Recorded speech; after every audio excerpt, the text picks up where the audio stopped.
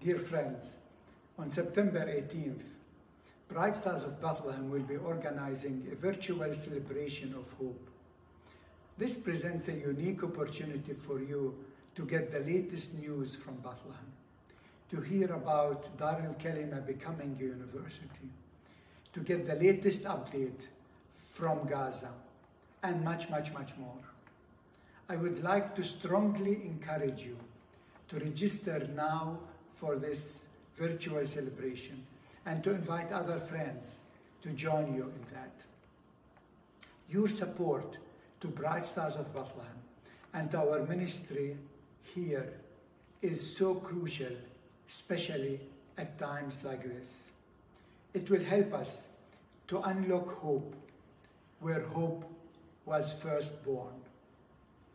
I look forward to seeing you on September 18th Vertioli.